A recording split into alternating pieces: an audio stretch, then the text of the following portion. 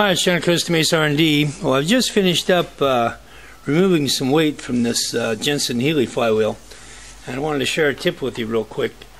Uh, generally, when you put these uh, flywheels on the chuck, you're only holding with the three jaws, and that's generally not enough. So what you do is you take and put a like about a three-quarter inch piece of all thread through the uh, lathe, so it sticks out the back side, and you put a couple of nuts on there, and you put a big washer on there.